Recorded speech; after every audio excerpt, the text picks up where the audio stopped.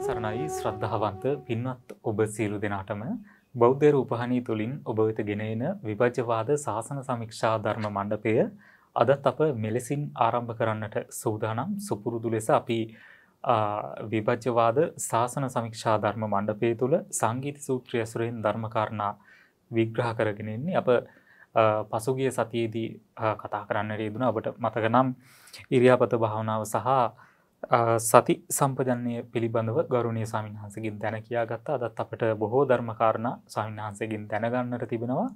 ඒ වෙනුවෙන් අප සිදු කළ ගෞරවනීය ආරාධනාව පිළි අරගෙන වැඩම කරන්නට යෙදුනා ලබුණෝරුව කන්ද ආරණ්‍ය සේනාසනයේහි ගරුවන් ශාසක ශාස්ත්‍රපති රාජකීය පණ්ඩිත නම කියනට අවසරයි ස්වාමීන් වහන්ස පූජනීය මාන් කඩවල නන්දරතන පින්නත් ස්වාමීන් වහන්සේ අප ස්වාමීන් වහන්සේව සාකච්ඡා මණ්ඩපයේ වෙත ගෞරව නමස්කාර පූර්වකව පිළිගනිමු. අවසරයි. දරුවන් සරණයි.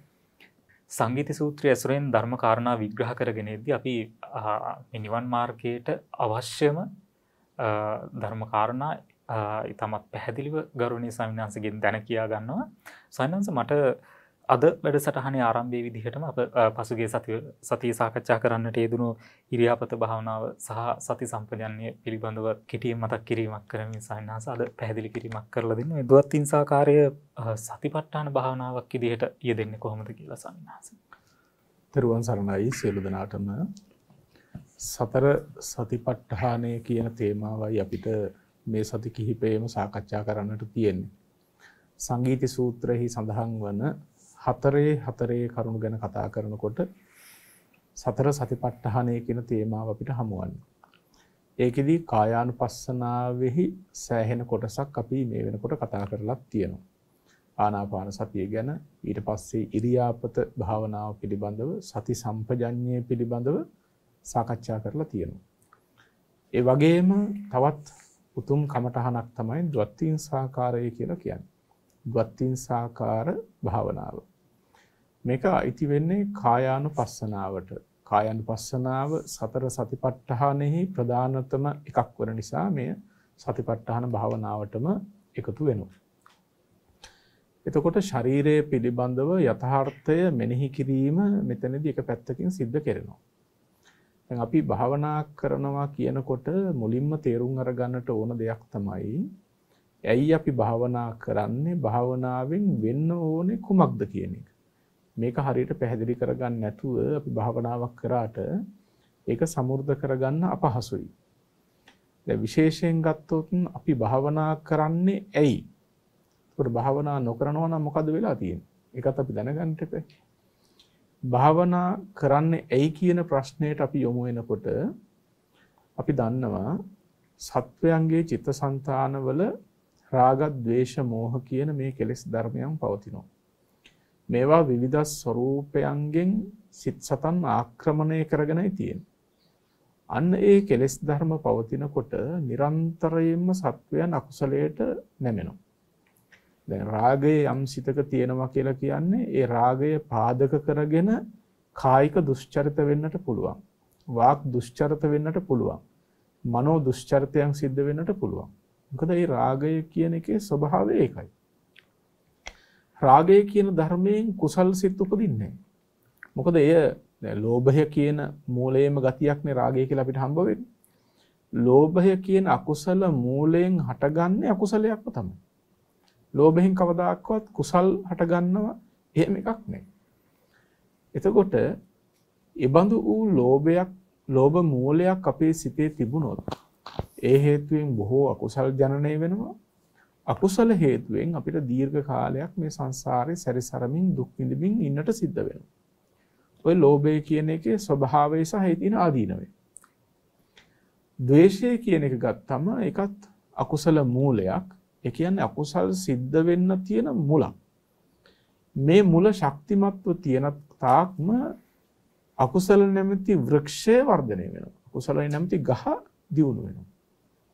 හරියට දැන් අන්දර වගේ විස කටු සහිත ගහක මුලක් වගේ.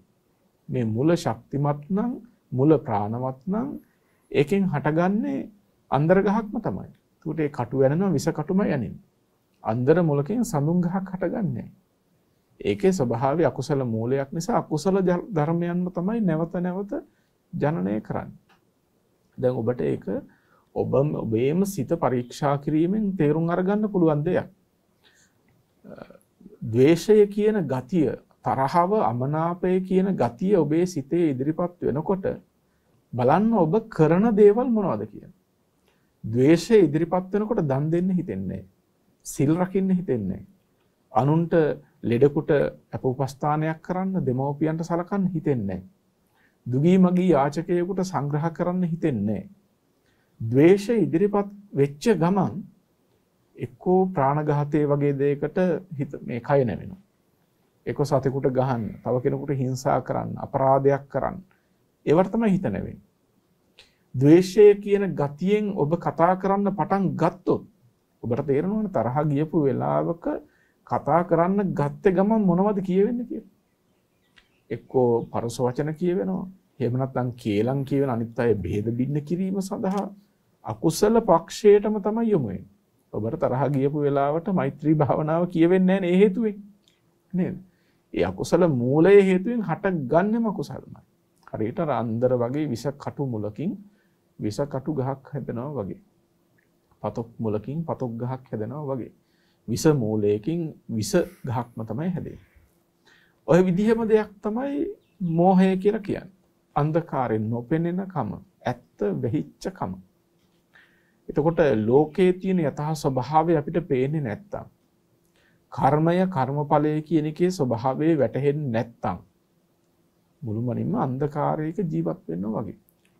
දැන් තමන් කරන ලාමක කර්මයක හීන කර්මයක දරුණු විපාක තමන්ට වැටහෙන්නේ නැත්තම් මුළුමනින්ම අන්ධකාරයක ජීවත් වෙනවා වගේ. එයා කරන්නෙම කුසල්ම තමයි එතකොට. මොකද එයාට ඒකේ බරපතලකම පේන්නේ. මෝහයෙන් වැහුනම ඕනම අපරාධයකට යොමු ගන්නට පුළුවන්. ඒ නිසා තමයි මේ මිත්‍යා දෘෂ්ටිය වගේ දේවල් අති මේ තාමත්ම ඕලාරික සහ දුරු කළ යුතුම දේවල් බවට පත් වෙන්නේ. සත්‍යයන් ඒ තරම්ම වෙනසීමට ලක් කරනවා. දැන් යම්කිසි කෙනෙක් පවපින පිළිගන්නේ නැහැ කියලා කියන්නේ පවපින කියන එකේ ස්වභාවය පේන්නේ නැහැ කියන එක. ඒකේ විපාක කෙබඳුද? ඒයින් උපදවන දේවල් කොහොමද කියන එක පේන්නේ. ඒ මෝහයට වැටිච්ච ගමන් මොනම අපරාධයක් කරන්න උනත් පෙළඹෙනවා කිසිම ලැජ්ජාවක් බයක් පැකිලීමකින් තොරව. ඉතින් අනේ නිසා මේ මෝහය කියන අකුසල මූලයත් අකුසලයන් ජනනය කරන ධර්මයක්. දැන් ඔබ දන්නවා ප්‍රතග්ජනයන් හැටියට සිත්වල තියෙන්නෙම මේ ලෝභ ද්වේෂ මෝහයන්. මේ කුණු කන්දල්ම තමයි වැඩිපුර පුරෝගෙන ඉන්නේ. අලෝභ ද්වේෂ මෝහ වගේ කුසල මූලයන් පාදක කරගෙන කුසල් සිතිවිලි ඇති වෙන්නේ ඊටාම අඩු වෙන්නේ ඒක ඔබටම තේරෙනවානේ. සිත හිතාමතාම කුසලයකට යොමු කළොත් හැර වැඩිපුරම මේ කෙලෙස් සහිත දේවල්ම තමයි හිතට එන්නේ. අකුසල මූලයන්ගෙන් හටගන්න දේවල්. එතකොට මේ ආර්ය ශ්‍රාවකයා ධර්මය අහන ධර්මයේ පිළිබඳව හැඟීමක් තියෙන බුදුබණ ගැන ශ්‍රද්ධාව තියෙන සත්පුරුෂයා මෙන්න මේ අකුසල මූලයන්ගේ භයානකකම තේරුම් අරගන්න. ඒවයි ලාමකකම. මේවා තිබ්බොත් විනාශයක් වෙන්න කියන එක වටහා ගන්න.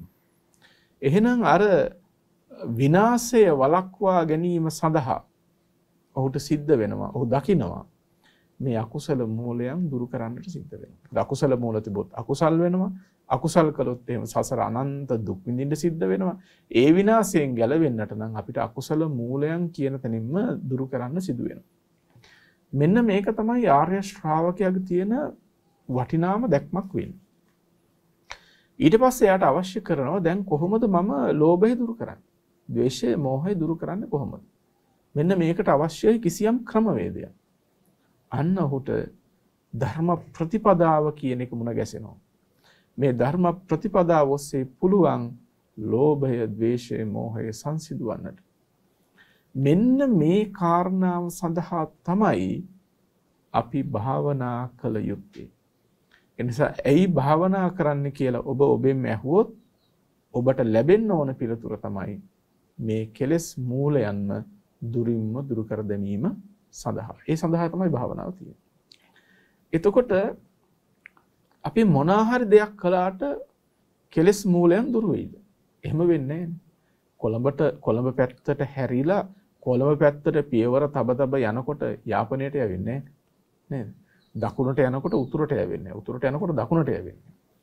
ඒ වගේ අපි මොනවා හරි දෙයක් කළයි කියලා වෙනත් ධර්ම මාර්ගයකින් දුරු කළ යුතු දේවල් දුරු කරන්න බෑ.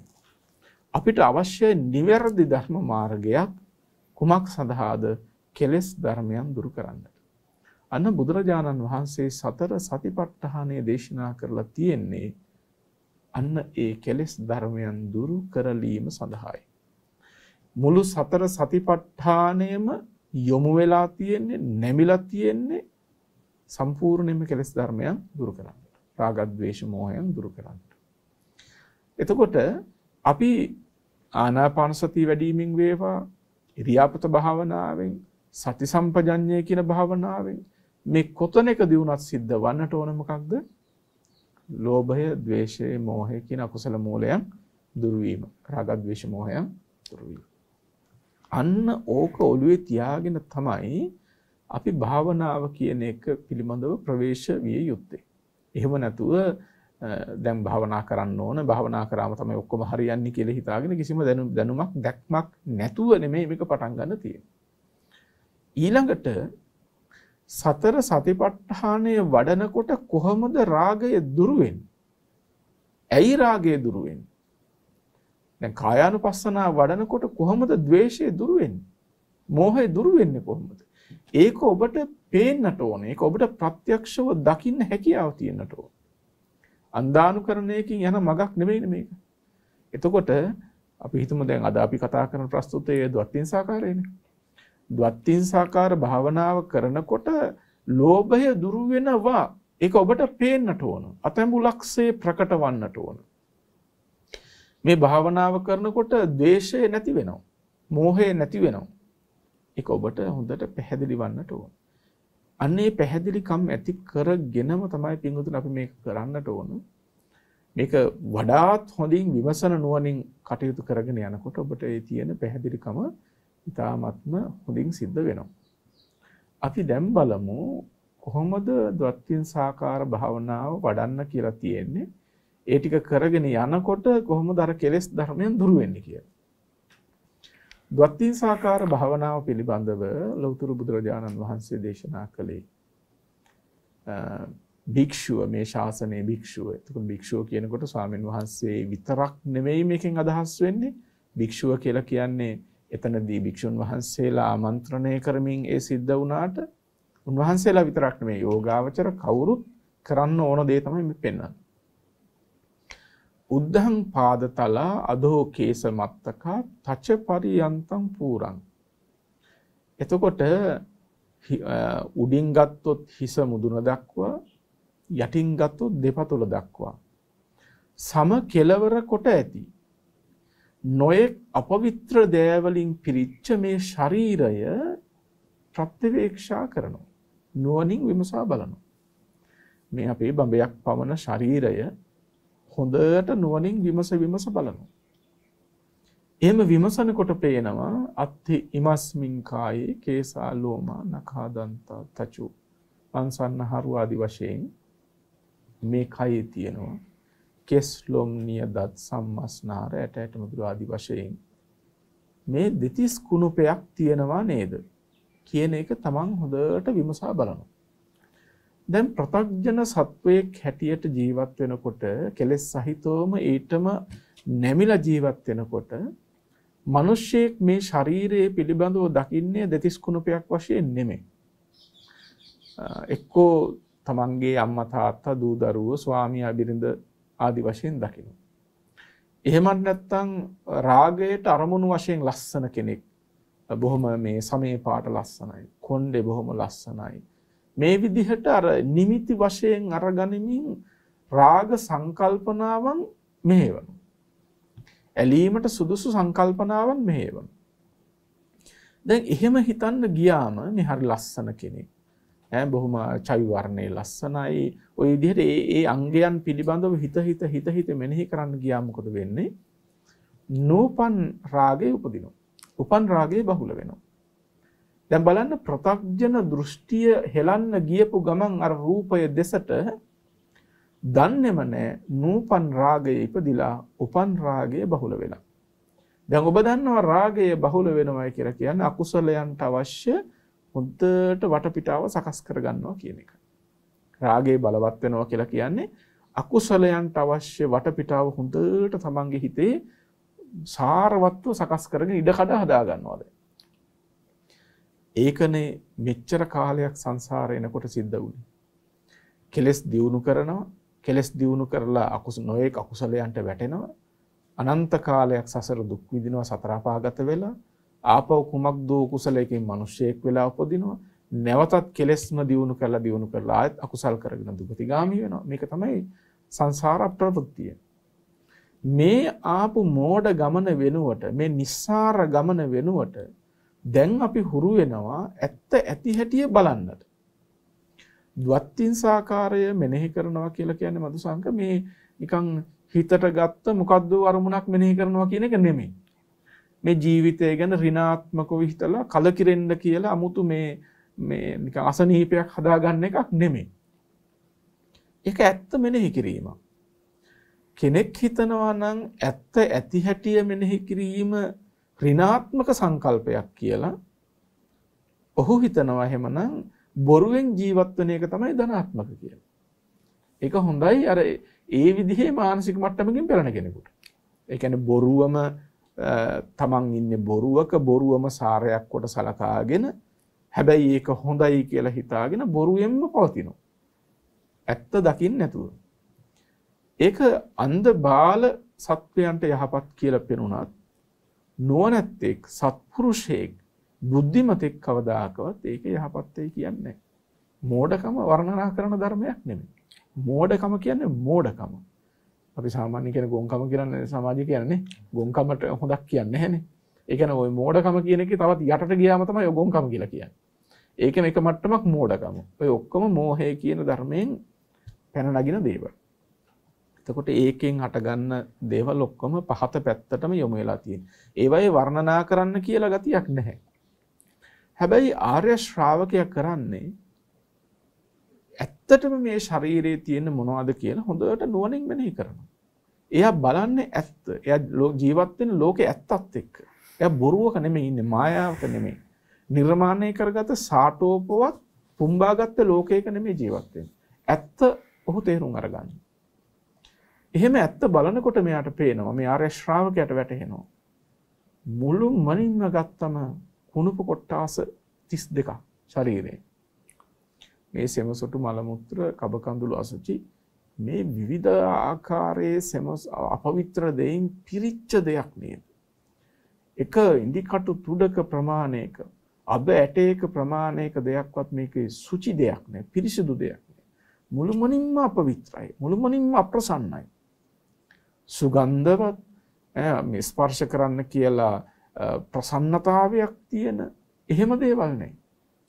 කෙලෙස් සහිත සිතකට ඇත්ත වැහිච්ච සිතකට හොඳයි කියලා හිතුණට නුවණින් බලන කෙනාට පේනවා මොන අසුචි වලක්ද මේ? මොන අපවිත්‍ර ගොඩක්ද? නිරන්තරයෙන්ම කවලා පෝවලා නාවලා පිරිසිදු කරලා කුණු අතුල්ලලා සුවඳ විලවුන් ආලේපනය කරලා පිටින් සුද්ධ කරලා සුද්ධ කරලා ලස්සන කරන්න හැදුවත් මේක එහෙම ඉවර කරන්න පුළුවන් දෙයක් නෙමෙයි නවද්වාරයකින් වැగిරෙන බොහෝ කල් ඉක්ම ගිය සැරව ගෙඩියක් වගේ අපවිත්‍ර දෙයක් නේද කියලා. මේ ශරීරය දැන් ඔය හොඳට සැරසිලා ගාන්න තියෙන හැම දේම ගාගෙන යනවනේ නේද? මෙහෙම යන ශරීරයක තියෙන යථා ස්වභාවය විවර කරොත් මේ ශරීරය ඇතුළ තියෙන දේවල් එළියට ගත්තොත් ඔය ඒ දෙස ලස්සනයි කියලා බලපු අය කොච්චර අප්‍රසන්න සිතක් ඇති කරගනින්. බල්ලෝ කපුටු උකුස්සෝ වගේ සත්තු පිරිවරාගෙන මේක තියෙන අපවිත්‍ර ගඳට මේක කෑල්ලක් දැහැගෙන යන්න පුළුවන්ද කියලා බලන්න. ඒ තරම්ම අපවිත්‍ර ස්වභාවයක් ශරීරය කියලා කියන්නේ. හුදු සංකල්පනාවකින්ම තමයි ඒ කියන්නේ මෝහයෙන් ඔසවපු සංකල්පනාවකින්ම තමයි මේක උපවත් කරලා මේ හිතට පෙන්නලා තියෙන්නේ. හුදෙක්ම සිතවිල්ලක් පමණයි. ඒ ඒ මෝඩ සිතවිල්ල පොඩ්ඩකට අයින් කරලා ඔබ රූපේ ඇත්ත දිහා ටිකක් බලන්න. ඇත්තටම ඇත්ත දිහා. මේ වගේ අපවිත්‍ර දෙයක් නේද කියලා තමන්ට ප්‍රකට වෙනවා. අන්න ඒ ඇත්ත කතාව ඇත්ත ස්වභාවය යතහභූත තත්ත්වය තමයි මේ සතර සතිපට්ඨානයේ වඩන යෝගාවචරයා බලන්න. අන්න ඇත්ත කතාව මොකක්ද කියලා තේරුම් අරගන්න උත්සාහවත් වෙනවා. එයාට හොඳට විමස විමස බලනකොට පේනවා. මේ මුළු ශරීරයම සලකා බලනකොට දෙතිස් කුණපයක්. මුළුමනින්ම අපවිත්‍ර දෙයක්. මෙච්චර කාලයක් හොඳයි ලස්සනයි සාරයි සුභයි මම මගේ මට ඕනේ මේ මොන විදිහට හිතන් හිටියත් මේසා පිළිකුල් කටයුතු රූපස්කන්ධයක් නේද රූපස් රූප පිණ්ඩයක් නේද කියලා තමන්ට වැටහෙන. ආතුරං අසුචින් පූතින් දුග්ගන්ධන් දේහ නිස්සිතන් කියලන කිය. මේ ශරීරය හරියට ලෙඩෙක් වගේ. නිරන්තරයෙන්ම බඩගින්න සාපිපාසාදී දුක් දුම්නස් ජරා මරණාදී දුක් දුම්නස් වලට සමීපවමින් තියෙනවා. ඊට පස්සේ නවද්වාරයකින් වැగిරෙනවා. දිවාරය නැතුව නවද්වාරයකින් මොහොතක් පාසා අපවිත්‍ර දේ වැగిරෙනවා. එහෙම එහෙම ශරීරයක් පින්වතුනි. හොඳට ඒක කල්පනාවට ගන්න. මෙහෙමයි මේ රූපේ ඇත්ත ස්වභාවය. ඒ දැන් යෝගාවචරය කරන්න මෙන්න මේ ඇත්තට හිත තිය තිය ඉන්නවා. ඇත්තට හිත තියලා බලනවා. එහෙන් බලනකොට හුදෙක්ම දෙතිස් කුණුපයක් එහාට මෙහාට චලනය වෙනවා. දෙතිස් කුණුපයක් මේ සතර ඉරියව් පරිහරණය කරනවා කියලා ඇවිදිනවා ඉඳ ගන්නවා සක්මන් කරනවා නිදා ගන්නවා හිටගෙන ඉන්නවා මේ අපවිත්‍ර දෙයක් නේද කිය සිහිය නුවණ හොඳින් එළඹ තියෙනවා. දැන් මේ මෙපමණකින් බලන්න තව අපිට කතා කරන්න තියෙනවා මේක. මෙපමණකිනුත් බලන්න සෙමසොටු මලමුත්‍රා කබකඳුළු පිරිච්ච කෙස්ලොම් නියදත් සම්මස් නහරාදියෙන් යුක්ත රූප පින්ඩයක් නේද කියලා බලන ඔබට රාගය නෙමේ ඇතිවෙන්නේ විරාගය. දවේශය නෙමේ ඇතිවෙන්නේ අද්වේශය. මෝහය නෙමේ ඇතිවෙන්නේ අමෝහය. එතකොට අලෝභය කියන ධර්මය යම් මොහොත්තකදි හටගත්තු. ඔබේ සිත තුළ අලෝභය කියන ධර්ම යම් මොහොතකට හරි හටගත්තොත් මේ කුසල මූලය ඔබට වටිනම ධර්මයක් වෙනවා. මේ කුසල මූලයෙන් කවදාකවත් පින්වතුනි අකුසලයක් හටගන්නේ නැහැ. කුසල මූලයෙන් කුසල්මයි හටගන්නේ. ඒ අලෝභ සිතිවිල්ලෙන් ඔබ වැඩක් කරන්න ගියොත් කුසලයක්මයි කරන්නේ. ඒකයි. අලෝභජං අලෝභ සමුදයන් තං කම්මං කුසලං තං කම්මං සුඛ විපාකං කියලා පෙන්නනවා අලෝභයෙන් හටගත්ත අලෝභජං අලෝභ සමුදයන් අලෝභයෙන් හටගත්ත දෙයක් තියෙනවනම් අන්න ඒ කර්මය කුසල්. ඒ කර්මය සුඛ විපාක ගෙන දෙන සුළුයි. යහපත් විපාක ගෙන දෙන සුළුයි. ඒ නිසා දවත්තින් සාකාරයේ මෙනෙහි කරන ඔබට යම් මොහොතකදී ඒ අලෝභ සිත උපදිනවා කියන්නෙම ඔබ උතුම් කුසල මූලයක් ශක්තිමත් කරගනිමින් ඉන්නවා. ඒ කියන්නේ ඔබේ යහපත ඔබ රැස් කරමින් ඉන්නවා යහපත සිදු කරමින් ඉන්නවා කියන එක. ඊට පස්සේ ද්වේෂය වෙනුවට අද්වේෂය හටගන්නේ. දෙතිස් කුණපයක් එක්ක ඇති වෙන්නේ තරහව නෙමෙයි.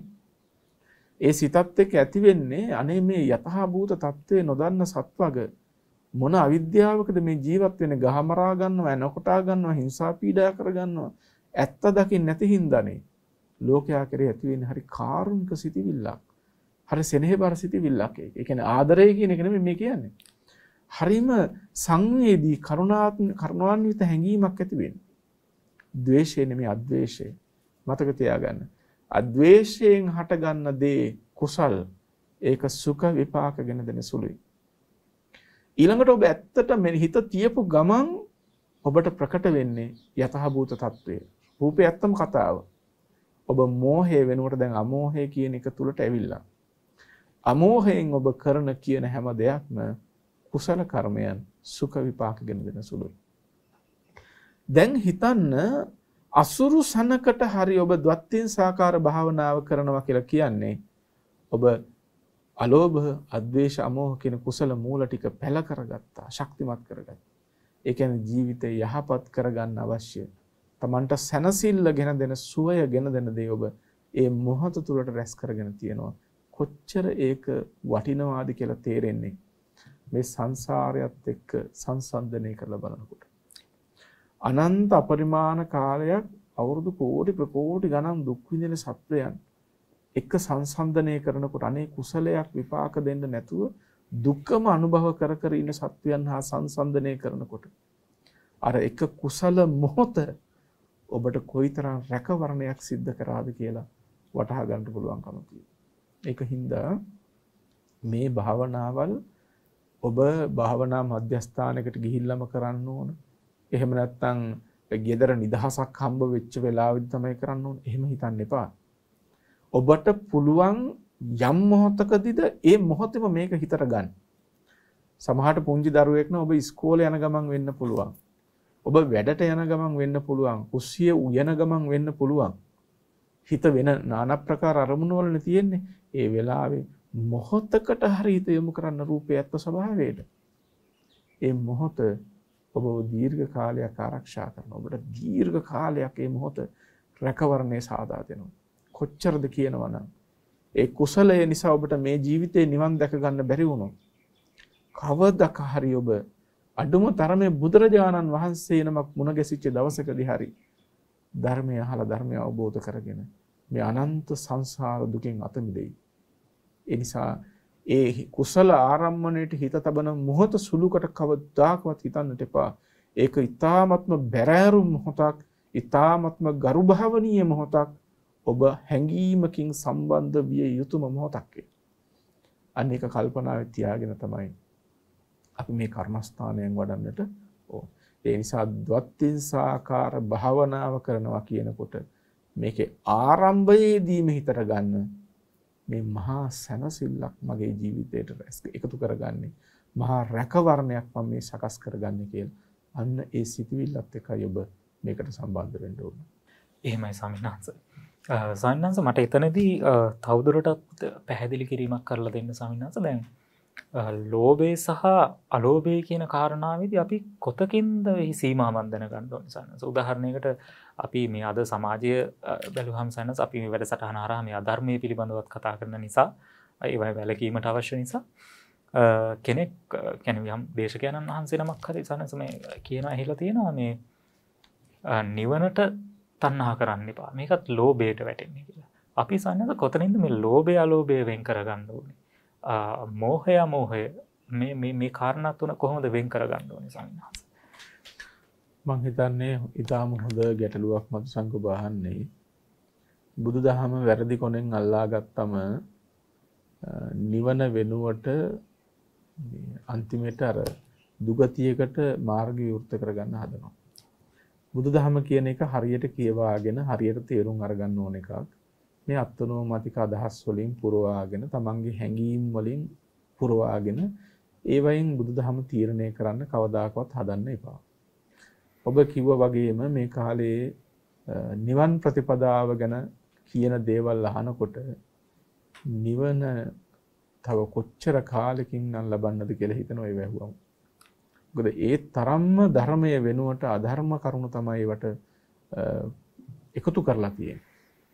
අත්නෝ මත ලෝභය කියලා කියන්නේ අකුසල මූලයක් නේ. ලෝභය කියන්නේ අකුසල මූලයක්. අකුසල මූලය කියන එකෙන් අදහස් වෙන්නේ මෝහය පාදක කරගෙන ඇති කරගන්න ඇලෙන ගතියක්. ලෝභය කියන එක ස්වභාවي තේරුම් අරගන්න ඕනේ එහෙමයි. හුදෙක් කැමැත්ත කියන එකෙන් විතරක් ඔබ ලෝභය කියලා හිතන්නට එපා. මෝහය කියන ඇත්ත නොදැනීම කියන කාරණාව පාදක කරගෙන යම් ඇලෙන ගතියක්, බැඳෙන ගතියක් අයත් කරගන්න හදන කමක් තියෙනවා නම් මගේ කරගන්නට කැමති ගතියක් තියෙනවා නම් අන්න ඒක තමයි අකුසල මූලයක් වූ ලෝභය කියලා කියන්නේ. දැන් නිවන් ප්‍රතිපදාව ගැන අපි කතා කරනකොට අපිට හම්බ වෙනවානේ සතර එර්දිපාද.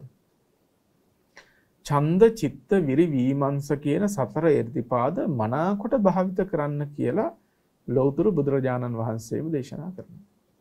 දැන් මේ ඡන්ද කියලා කියන්නේ මොකක්ද? කැමැත්තනේ. ඒ කැමැත්ත අර නොදන්නාකම පාදක කරගත්තා වූ ලෝභය නෙමෙයි.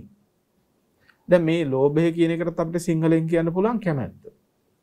ඡන්දය කියලාට සතර ඉර්ධිපාද තුල තියෙන එකටත් අපිට කියන්න පුළුවන් සිංහලෙන් කැමැත්ත. අපිට සාමාන්‍යයෙන් මේ වචනේ දෙකටම යොදන්න පුළුවන්. හැබැයි කැමැත්ත කියන වචනය දැක්කේ ගමන් මේක ක්ලේශයක් මේක දුරු කරන්න කියලා දේශනා කරලා තියෙන්නේ කියලා සතර එර්දිපාදවල තියෙන ඡන්දය මුලින්ම දුරු කරන්න හැදුවොත් මොකද වෙන්නේ? පින්වත්නි මතක තියාගන්න ලෝභය දුරු කරන්නත් සතර එර්දිපාදවල ඡන්දය අවශ්‍යයි. සතර එර්දිපාදවලින් තමයි කෙලෙස් ධර්මයන් දුරු කරලා තව දුරටත් සිත ඉහළට නන්වා ගන්න. දැන් ඒ ඒ ඒ ගතිය කුසල ධර්මයන් දියුණු කරන්න තියෙන හොඳම ලක්ෂණ ටිකක් ඒ. එතකොට කුසල් දියුණු කරගන්න අවශ්‍ය ඡන්දය කියන ගතිය ලෝභයයි කියලා හිතාගෙන ඒක දුරු කරන්න හැදුවොත් එහෙම ඉස්සල්ලාම ඉනිමකට පයින් ගෙවුවා වගේ වෙනවනේ. නේද? ඒක හින්දා මේ ධර්මය පිළිබඳව පිළිවෙලකට ක්‍රමානුකූලව ඉගෙන ගන්නේ නැතුව අපි විශේෂයෙන් මේ කියන්න කැමති මේ කාලේ ඉන්නවා මේ එක්කෝ විශ්වවිද්‍යාල වලින් අයින් වෙච්ච සමහර උදවිය බණක් දහමක් පිළිවෙලට ඉගෙනගෙනත් නැහැ. ත්‍රිපිටකයක් කියව ගන්න හරියට පාලි භාෂාවක් ඉගෙනගෙනත් නැහැ. අඩුම තරමේ සිංහලෙන් මේ ටික හරියට තේරුමක් ඇතුව කියවගෙනත් නැහැ. සමහර අය දොස්තරලා කියනවා, ඉංජිනේරුවෝ කියනවා, විවිධ විෂයන් ඉගෙන ගත්ත අය ඉන්නවා. හැබැයි මොන විෂය ඉගෙන ගත්තත් බුදුබණ කියන්න නම් බුදුබණ ඉගෙන ගන්නට එපැයි. මේක හරියට කියව ගන්න නැතුව කොහොමද බුදුබණ විග්‍රහ කරන්නේ? දැන් හිතන්න හොඳ වෛද්‍යවරයෙක් වෙන්න පුළුවන්. ඔහුගේ විෂයේදී ඔහු හොඳ දක්ෂයෙක් වෙන්න පුළුවන්. හැබැයි බුදු සමයේ තියෙන බුදු දහම පිළිබඳව හරියට කියව ගත්තේ නැතුව එයා බුදුබණ ප්‍රකාශ කරන්න ගියොත් මොකෙන් කියවෙලා තියෙන්නේ? මොනවා කියවෙලා තියෙන්නේ? ඉතින් අපේ මිනිස්සුන්ටත් වරදින දෙයක් තමයි මේ ගොඩක් ඉගෙන ගත්ත කෙනෙක් උපාධි දරේ කියන්නේ ලොකු රස්සාවක් කරපු මහත්තයෙක් රටේ ඉඳන් මෙච්චරක් අතහැරලා ඇවිල්ලා ඉන්න මහත්තයෙක් ඌව මේවා කියලාගෙන මේ නිකන් බොරුවට පහදින්න හදනවා. කියන්නේ මොකක්ද කියලා හරියට තේරුම් අරගන්නවත් නැතුව. ඒ නිසා පින්වතුනි ඔබ තේරුම් අරගන්න විශේෂයෙන්ම ලෝභය කියනකොට මෝහය කියන අකුසල මූලයක් එක්ක ඒ කියන්නේ නොදන්නවා කියන මෝඩකමත් එක්ක යෙදෙන බැඳීම් ස්වභාවය තමයි ලෝභය කියලා අපිට හම්බ වෙන්නේ. හැබැයි කුසල මාර්ගයේ වඩනකොට තියෙන ඡන්දය කුසල ඡන්දය ඒක මෝහය පාදක කරගෙන උපදව ගන්න එකක් නෙමෙයි. ඒක අමෝහය පාදක කරගෙන උපදව ගන්නා වූ කැමැත්තක්. ඒක නිවන් ප්‍රතිපදාවට අවශ්‍ය දෙයක්. ඒක බුදුහාමුදුරුවෝ දියුණු කරන්න කියපු දෙයක්. ඒ නිසා කුසල් කරනකොට ඇති කරගන්නා වූ කැමැත්ත අර අකුසල මූලයක් වෙච්ච ලෝභයයි වර්ධවා ගන්නට එපා. ඉතින් අකුසල ලෝභය සහ කුසල මාර්ගයේ තියෙන කුසල ඡන්දය කියන දේවත් හරියට වටහා ගන්න නැතුව කොහොමද නිවන් ප්‍රතිපදාව ගැන කතා කරන්නේ නේ? කොච්චර වැරදි මාර්ගයක්ද කියන්න වෙන්නේ. දැන් අපිට පේනවා සමහර උදවිය පින් කරලත් පින ගැන කල්පනා කරන්නෙත් නැහැ. ඕක ලෝභයයි කියලා හිතනවා. පින ගැන නැවත නැවත කල්පනා කරන්න කියලා බුදුහාමුදුරුවෝ දේශනා කළා තියෙන එක පස්චිම චේතනාව පිරිසිදු වෙන හින්දායි. ඒ කරපු යහපත් දේ ගැන නැවත නැවත අනුස්මරණය කිරීම යහපත්. එතකොට තමයි ඒක ආසේවන ප්‍රත්‍යයෙන් ප්‍රත්‍ය වෙන්නේ. එතකොට තමයි කළ කුසලයේ මහා බල සම්පන්න කුසලයක් වෙන්නේ. දැන් මේ ඇතම් උදවියගේ දේශනා අහලා අපේ උදවිය කුසල් කරන්නත් බය වෙනවා. බුදුහාමුදුරුවෝ ඉක්මවා යන්න හදනවා. භාග්‍යතුන් වහන්සේ දේශනා කරන කුසලස් උපසම්පදා කියලා. ලෞකික ලෝකුත්තර දෙපැත්තම තියෙන කුසල උපදවා ගන්න කියලා. ඒ බුදුහාමුදුරු දේශනා කරපු දේශනාවෙන් යන්තම් කොනක් වැරදි කොනින් අල්ලා ගත්ත අය කුසලයක් දුරු කරන්න කියන ඉස්සල්ලාම. ඉතින් අන්න ඒ වගේ මෝඩ තැන් වලට වැටෙන්නේ නැතුව හරීම කල්පනාවෙන් නිවැරදිව මේ රටේ බණ කියන හාමුදුරුවෝ ඕන තරම් ඉන්නවා. හැබැයි මේ YouTube වල මේ Facebook වල මේ රැලි රැලි වගේ මතුවෙන ඒ ධර්ම විකෘතිකයන්ට ශාසනය වැරදි කොනෙන් අල්ලාගෙන මිනිසුන්ගේ මනස විනාශ කරන්න හදන උදවියට නම් ඔබ හසු වෙන්න එපා. හරියට බණ දහම් කියන හාමුදුරුවන්ගෙන් ධර්මයක් අහගෙන මේ සසර ගෙවා ගන්න බලන්න. එහෙමයි ස්වාමීන් වහන්සේ.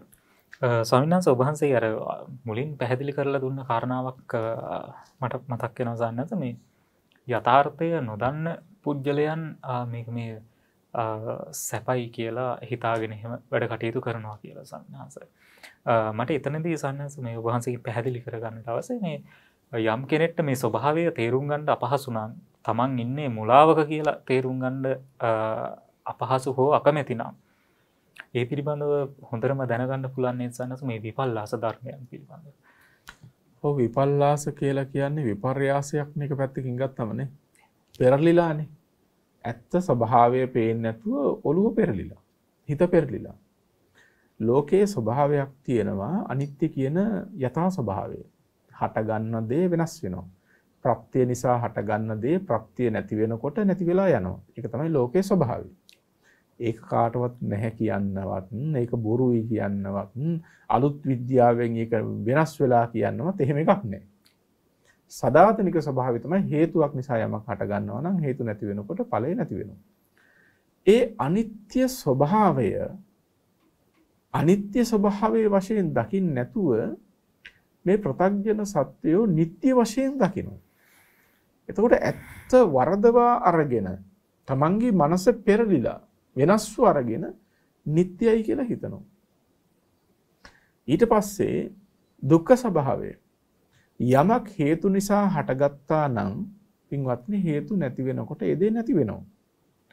එහෙම දෙයක් පවත්වාගෙන යන්නට කියලා අපිට හිතුනොත් අපිම දුකටපත් වෙනවා මිසක් කවදාකවත් අපිට සුවයක් ලැබෙයිද? එහෙම ලැබෙන්නේ වෙනස් වන නැතිවන විපරිණාමයට පත්වන දෙයකට කැමති වන තාක්ම ඒක තියාගන්න කියලා හිතන තාක්ම දුක මිසක් කවදාකවත් සුවයක් ලැබෙන්නේ එතකොට ලෝකයා යන විදිහත් එක ගත්තම අනිත්‍ය ස්වභාවයට පත්වන දෙයට බැඳුණු දුකමයි උපදින්නේ. හැබැයි ඒක පේන්නේ සැප ලබන්න පුළුවන් කියන හැඟීමක් තියෙනවා. මේක විපල්ලාසයක්, වැරදි අදහසක්. ඊළඟට ලෝකේ අනාත්මයි. සත්ව පුද්ගල ආත්ම භාවයෙන් තොරයි. ඇයි එහෙම කියන්නේ? ප්‍රත්‍ය නිසා හේතු නිසා හටගන්න හේතු නැති වෙනකොට නැති වෙලා යන ස්වභාවයක් තමයි ලෝකයේ තුල තියෙන්නේ. අපිට ස්කන්ධ පංචකයේ හැටියට ගත්තත්, 12 ආයතන හැටියට ගත්තත්, අටලොස් ධාතු හැටියට ගත්තත් මේ කවර ක්‍රමවේදයක් යටතේ සැලකුවත් අපි සත්වයා කියලා කතා කරන තැන එතන තියෙන යථාභූත ස්වභාවය විමසා බැලුවම අපිට හම්බ වෙන්නේ එක පැත්තකින් චිත්තචෛතසික ධර්ම ටිකක් තවත් පැත්තකින් බලනවා නම් නාම රූප කියලා කොටස් දෙකක් ඒ නාමයද ඒ රූපයද කියන කොටස් දෙකම හේතු නිසා හටගෙන හේතු නැති වෙනකොට නැති වෙලා යන ස්වභාවයක්. ඒ හේතු තුලවත් ඵල තුලවත් සත්‍යෝ පො පුද්ගලයන්ගේ බවක් ඇත්තේ නැහැ. ඒ නිසා ලෝකයේ අනාත්ම ස්වභාවයක් පවතිනවා කියලා කියනවා. අනාත්ම ස්වභාවයක් පැවතුනාට අපිට හිතෙන්නේ මිනිසෙක් ඉන්නවා. මේ ඉන්නේ අසුවල් කෙනා, මේ ඉන්නේ පුද්ගලයා, මේ ඉන්නේ සත්වෙයි. අන්න බලන්න මනස පෙරලිලා තියෙන හැටි. විපල්ලාසයෙන්. ඊළඟට අපි අද කතා කරපු මේ තේමාවෙම තියෙන දේ තමයි අසුභ ස්වභාවය. මනුෂ්‍ය ශරීරයක් ගත්තම ඒක මේ භූමි වශයෙන්වත් කාල වශයෙන්වත් කිසිදු වෙනසක් නැතුව මුළුමනින්ම කුණුප කොට්ටාස ටිකක් නේද කියන එක නුවණින් හිතනවා නම් ඕනම කෙනෙකුට තේරුම් අරගන්න පුළුවන්. හැබැයි ඒ තරම් අසුබ රූපය අපිට පේන්නේ කොහොමද? හරි ලස්සනයි. නේ බොහොම සුන්දර කෙනෙක්, බොහොම හැඩයි. ඔන්නෝමයි පේන්නේ. අසුබය සුභයි වශයෙන් පේනවා. එතකොට බලන්න අනිත්‍ය, දුක්ඛ, අනාත්ත, අසුභ කියන ලක්ෂණ ටික පවතිනකොට සත්වයන්ට පේනවා නිට්ටයයි, සැපයි, ආත්මයි, සුභයි කියලා පේනවා. මුළුමනින්ම හිත වෙනස් වෙලා විපර්යාසයටපත් වෙලා. මේ විපල්ලාසයේ තියෙන ආදීනවය මොකක්ද? විපල්ලාසයෙන් පෙළෙන කෙනා ඒ කියන්නේ ලෝකේ ඇත්ත ස්වභාවයෙන් නෙමෙයි ඔහු ඉන්නේ ඔහු ඉන්නේ ඔහුගේ පෙරලිච්ච මනසේ. පෙරලිච්ච මනසක ඉන්න කෙනා ඇත්ත නොදකින හැම හින්දම ඔහු නැවත නැවත කෙලෙස් වලටම යොමු වෙනවා. කෙලෙස් වලට යොමු වෙන කෙනා නැවත නැවතත් අකුසල් කරගන්නවා. ආපහු ආපහු සංසාරයටම ප්‍රවේශ වෙනවා. විපල්ලාසයන්ගෙන් පෙළෙන කෙනෙක් කතා කරනකොට අකුසලයන්ට අනුයාතයි. ක්‍රියා කරනකොට අකුසලයන්ට අනුයාතයි. මොකද මේ පැත්තට තමයි හැරලා තියෙන්නේ. ඔළුව පෙරලා. ඇත්ත පේන්නේ. එතකොට වැරදි පැත්තටම තමයි ඔහුගේ ඔහු යොමු වෙන්නේ. අන්ධකාර මාර්ගයටම යොමු වෙච්ච අන්ධ බාල ප්‍රතක්ජනයෙක්යි කියන්න සුදුසු. ඒ ඒ විපල්ලාසයන්ගෙන් පෙළෙන කෙනෙක් කවදාකවත් ඒයින්ම පෙළෙමින් එහිම බැසගෙන එහිම එරීලා එරිලා ඉන්නකොට ඔහුට කවදාකවත් තමන් ඉන්න විපල්ලාසයක් කියන එක පේන්නේ. මොකද ඔහු ඒකෙම කිඳා බැහැලා ඉන්නේ. යන්තමින් හරි සත්පුරුෂකමක් තිබුණොත් හිතේ කොහේ හරි කොනක හරි සත්පුරුෂ ගතියක් තිබුණොත් සද්ධර්මය අහන්න කන් යොමු කළොත් නුවණින් මෙනෙහි කිරීමකුද සිද්ධ කළොත් අන්න ඒ කෙනාට යන්තමින් හරි පෙනෙයි ඉන්නේ වැරදි තැනක නේද කියලා. මේ වැරදි තැනක ඉන්නවා මේක හරි ගස්ස ගන්න ඕනේ කියන එකවත් පේනවා. ඉතින් අර විපල්ලාසයන්ගෙන් ජීවත් වෙන අන්ධ බාලකමින්ම පෙලෙන්න හදන උදවියට නම් මේ සතර සතිපට්ඨානය හෝ මේ නිවන් ප්‍රතිපදාව ගැන කිව්වට වැඩක් නැහැ. මොකද ඒ සිතේ අඩුම තරමේ අශ්ලෝමක තරම්වත් සත්පුරුෂ ධර්මයක් නැත්තම් කොහොමද මේ ධර්මයක් වැටහෙන්නේ? ඉතින් අතහැරලා දාන්න සිද්ධ වෙනවා. හැබැයි ඒ අයගෙන් පරිස්සම් වෙන්න ඕනේ. මොකද ඒ අය තමන්ගේ වැරදි අදහස් නිසා ඒ වැරදි අදහස්ම සමාජයට තල්ලු කරන්නට සමාජයට පටවන්න හදනවා. දැන් අපිට පේනවා නිරාගමික කියලා තියෙන සමහර සංවිධාන බලන්න. ඔය මේ අන්තර්ජාලයේ සමාජ මාධ්‍ය ඔස්සේ තියෙන නිරාගමිකයේ යැයි කියාගන්න එහෙම කට්ටිය අර අන්ධ කාර්යම පෙළමින් මිනිස්සුන්ගේ ඔළුවට යන්ද අදහස්ම තමයි දාන්නේ. එතකොට අර නුමුහු කළ සිතක් ඇති කෙනෙකුට සමහරට ඒවා හරි කියලා හිතෙන්නත් පුළුවන්. අපරාධයක් වෙන්න. ඒ නිසා ඒ අය අතහරිනවා විතරක් නෙමෙයි ඒ අයගෙන් පරිස්සම් වෙන්නටත් දක්ෂ විය යුතුයි. ඉතින් මෙන්න මේ විපල්ලාස ධර්මයන් අපේ සිත්වල පවතිනවා කියන එකවත් අපි තේරුම් අරගන්නවා නම් ඒක කොච්චර වටිනවද? පින්වතුනි ඔබේ ජීවිතය තුළ හොඳට මේක අහගන්න. ඔබට ජීවිතේ එක දවසක්වත් මේක තේරිලා තියෙනවා නම් ලෝකේ ඇත්තම ස්වභාවය අනිත්‍යයි අපිටයි මේ වැරදිලා තියෙන්නේ කියන එක. ලෝකේ යථාර්ථය දුකයි අපිට වැරදිලා තියෙන්නේ කියලා. අනාත්ම බවක් තියෙන අපිට වැරදිලා අසුබ බවක් තියෙන අපිට වැරදිලා කියලා අසුරු සැනකටවත් ඔබේ ජීවිතයට තේරිලා නැත්තම් ඇත්තෙම ඔබ ඉන්නේ හොඳ තැනක නෙමෙයි. හැබැයි එක අසුරු සැනකට හරි ඔබ මේක තේරුම් අරගෙන තියෙනවා නම් ඔබ ඔබ ගැන සෑහෙන ප්‍රමාණයක් සතුටු වෙන්න පුළුවන් කෙනෙක්. එහෙම කියන්නේ ඇයි? මේ අනන්ත අපරිමාණ සත්ව විෂයක් තුල අන්ධකාරයේම ගිලිලා ඉන්න සත්ව විෂයක් තුල ඔබ මොහොතකට හරි ආලෝකය දැකලා තියෙනවා. ඔබට ආලෝකය ස්පර්ශ කරන්න බැරි වෙන්නේ නැති තාම. හැබැයි මොහොතකට හරි ඔබ ඇත්ත කියන එක දැකලා තියෙනවා. ඉන්නේ වරදක කියන එකවත් දන්නවා. එසේ වූ ඔබට උත්සාහ කළොත් පුළුවන් ඒ වරදෙන් නිදහස් වෙලා නිවැරදිම තැනට ගමන් කරන්නට. ඉතින් බෞද්ධ පින්වතෙක් වීමේ වටිනාකම ඔබ තේරුම් අරගන්න මේ උතුම් ධර්ම ශ්‍රවණයත් එක්ක භාග්‍යවත් බුදුරජාණන් වහන්සේ දේශනා කරපු ඒ උත්තරීතර ධර්ම කරුණු ශ්‍රවණයත් එක්ක ඔබට මොහොතකට හරි ලෝකයේ තියෙන වැරදි තැන විපල්ලාසය වටහා ගන්නට අඩුමතරේ වචන ටික හරි ඇහෙනවා. මොහොතකට හෝ අවස්ථාවක් උදා වෙනවා. ඒක මහා සම්පතක් මහා භාග්‍යයක් මේ භාග්‍ය ලැබිච්ච වෙලාවෙ ඉතුරු ටික කරගන්න තමයි තියෙන්නේ. ඒකට ප්‍රමාද වෙන එකයි දැන් මේ දෝෂය ගොඩක් වෙලාට අපිට පේන්න තියෙන්නේ. පංචකාමයන්ටම වසඟ වෙලා නිසා ඒවටම යොමු වීම නිසා ගොඩක් වෙලාවට ප්‍රමාදයට සිත නැවෙනවා. දැන් අපි මේ කතා කරගෙන ආවේ ද්වත්තින් සාකාර භාවනාව යම් ප්‍රමාණයක් සහ විපල්ලාසයන්ට හසු නොවී කොහොමද අපි යන්නේ මේ සිතක් සකස් කරගෙන යන්නේ කියන එකනේ. දැන් මේ ටික ඇහුවම කෙනෙකුට හිතන්න පුළුවන් හරි එහෙනම් කෙස්ලොම් නියදත් සම්මස්නහර තියෙන කියලා හිතුවලා හිතලා ඇත්ත නුවණින් බලබල ගියාම මේ ටික ප්‍රමාණවත් වෙයි නිවන් අවබෝධ කරගන්න කියලා. එහෙම ගන්නට එපා. එපමණකින් විතරක් නිවන් අවබෝධ කරගන්නට පුළුවන් කමක් නැහැ. මේකට විපස්සනාව කියන කොටසත් එකතු කරගත යුතුම වෙනවා. එහෙමයි ස්වාමීන් වහන්සේ. දැන් ඔබ වහන්සේ පැහැදිලි කරපු ආකාරයට සන්නස මේ මේ ස්වභාවය තේරුම් අරගෙන හෝ ගැනීමෙන් හෝ මේ යන ගමන අපි කොහොමද සන්නස මේ විපස්සනාවට යොමු කරව ගන්න. විපස්සනාව කියන්නේ මොකක්ද ස්වාමීන් වහන්සේ? හරි අර්ථයෙන්ම. දැන් අර කලින් අපි කිව්වනේ මේ කෙස්ලොම් නියදස් ආදි වශයෙන් මේ දෙතිස් කුණුපය ගැන මෙනෙහි කරනවා කියලා.